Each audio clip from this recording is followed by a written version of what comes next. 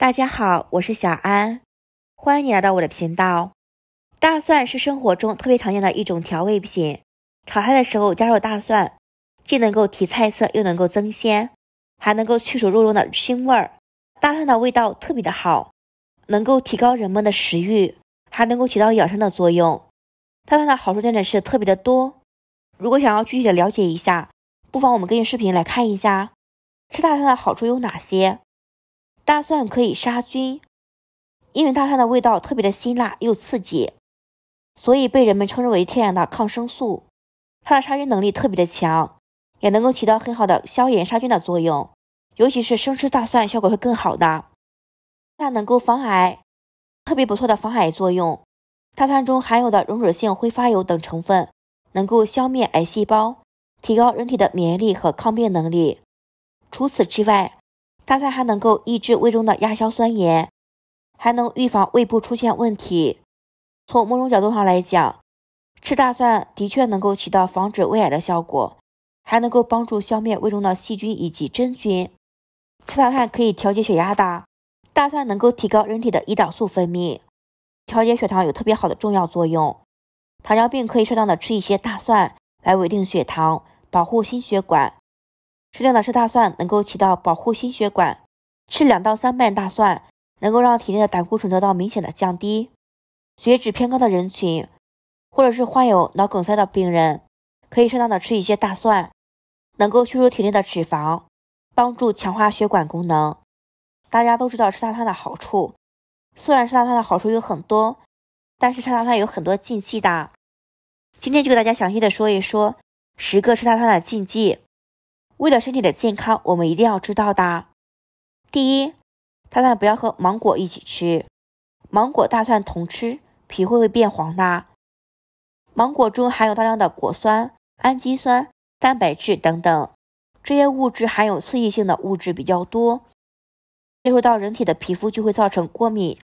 大蒜属于刺激性的食物，两者同时，身体特别的容易过敏，容易引发严重的过敏症。甚至出现红肿、疼痛的症状。两种食物尽量隔开一个小时再食用，能够防止不良的反应和过敏。二、大蒜不要和药物一起吃。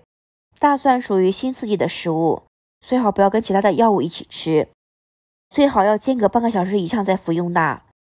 如果服用抗凝药物的患者，最好不要同一个时间吃大蒜，要间隔几个小时以上再食用，因为临床上房颤心脏机器。瓣膜支环术后、心梗溶栓治疗、心脏支架术后以及剖腹产等病人需要长期定时定量、有规律的服用抗凝药物，预防血栓的形成。大蒜中的硫化物质能够抑制耳纹酸性肝，诱导血小管聚集，减慢血小板凝聚。所以，服用抗凝药物的患者大量的吃大蒜会影响病人的恢复，可导致生命的危险。第三。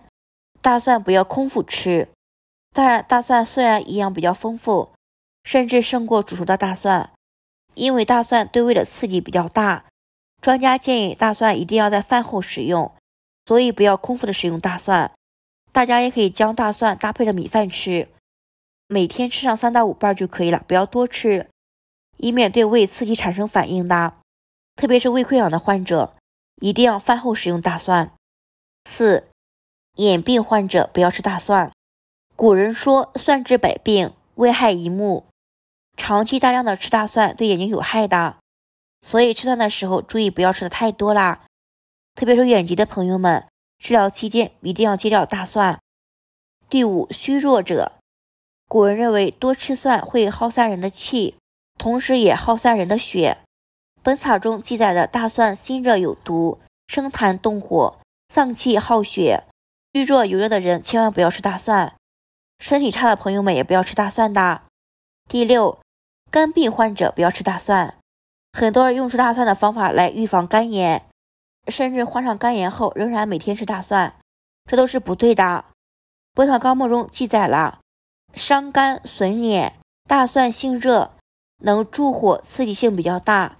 肝有内火者，如果食用肝火会比较旺的，时间久了当然会造成损伤。七，脾虚腹泻者一定要少吃大蒜。吃一点是可以的，能够促进消化。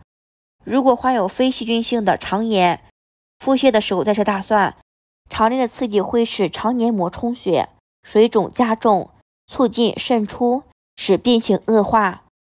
第八，重病者慎食大蒜。蒜属于发物，所谓发物是指特别容易诱发某些疾病的，或者是说引发疾病的食物。食用大蒜、辣椒等辛辣食品，对患有重病、正在服用的人来说，可能会出现明显的副作用，不但可能引发旧病，还可以使药物失效，会与药物产生反应，影响健康的。第九，第九，大蒜不要与鸡肉同吃，鸡肉与大蒜相克的。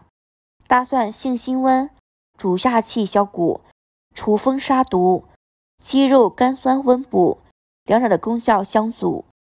蒜气熏臭，调味角度上来说与鸡肉不合搭，所以大蒜不宜与鸡肉同吃。第十，大蒜不要和牛肉一起吃。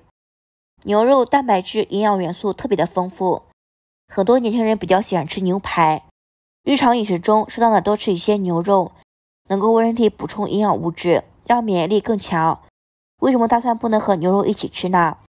因为大蒜本身是一种温热的食物，牛肉属于温补的食物，两者一起食用，其中的营养物质会相互的抵消，身体不仅能够将其的营养物质全部吸收，两者有益的物质还慢慢的消退。所以由此可见，大蒜和牛肉不能一起吃的。平时的日常生活中，我们适当的吃一些大蒜，不要多吃，也不要贪嘴。为了维护身体的健康，合理饮食才有更加的关键。好，家人朋友们，今天的视频就分享到这里啦。如果觉得我的视频对你有所帮助，请帮我点赞、关注、订阅我的频道，欢迎下方留言加一。我每天都会分享变态养生知识与您分享。感谢所有朋友们的支持，谢谢大家。我是小安，我们下期视频再见。